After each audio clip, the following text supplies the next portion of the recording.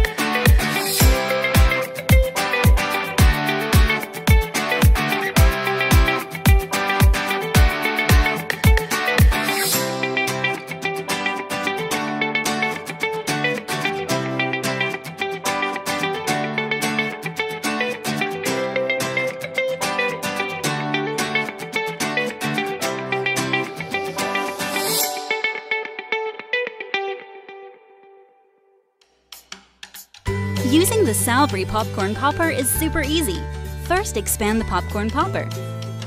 Next, add 1 quarter cup or fill to the bottom line with your favorite popcorn kernels. Next, place the lid loosely inside the bowl. Use the two handles to place in the microwave and cook for 2 to 4 minutes.